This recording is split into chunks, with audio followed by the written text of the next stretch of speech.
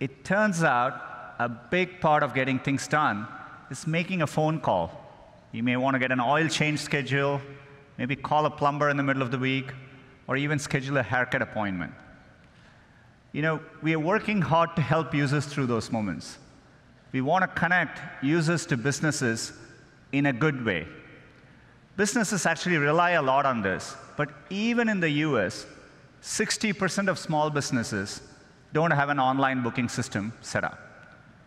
We think AI can help with this problem. So let's go back to this example.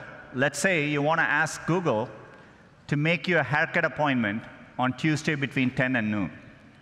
What happens is the Google Assistant makes the call seamlessly in the background for you. So what you're going to hear is the Google Assistant actually calling a real salon to schedule the appointment for you. Let's listen.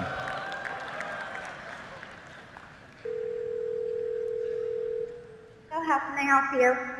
Hi, I'm calling to book a women's haircut for a client. Um, I'm looking for something on May 3rd.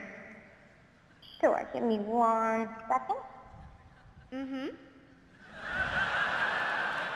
Sure, what time are you looking for around? At 12 p.m. We do not have a 12 p.m. available. The closest we have to that is a 1.15.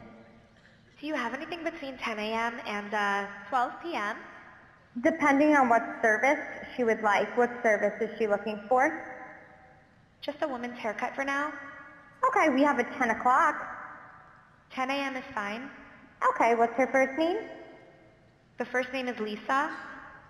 Okay, perfect. So I will see Lisa at 10 o'clock on May 3rd.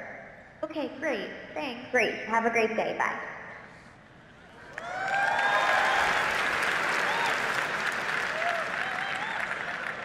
That was a real call you just heard.